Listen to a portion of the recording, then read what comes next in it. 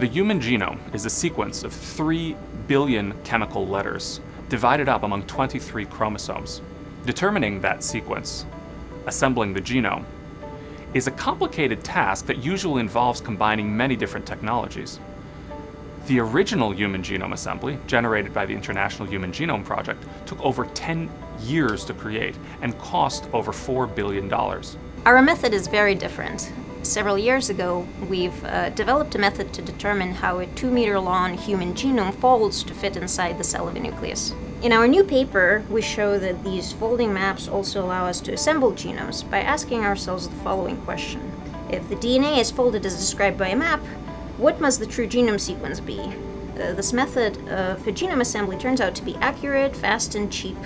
Producing a human genome from scratch, just like the International Human Genome Project did, requires less than a week of experiments whose results can be interpreted at the click of a button. It also costs less than $10,000, that's a lot smaller than $4 billion. When I was a kid in school, my father and I created a science fair project which was a scale model of DNA.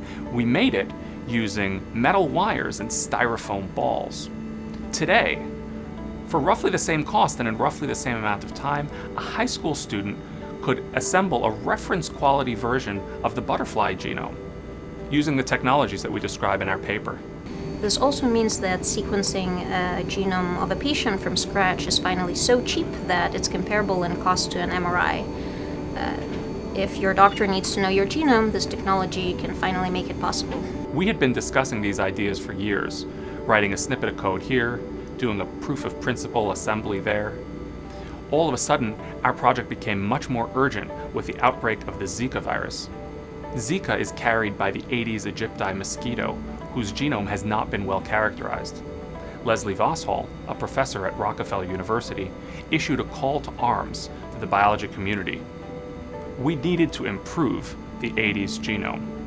As it happens, we'd already done a proof of principle experiment showing we could assemble Aedes aegypti.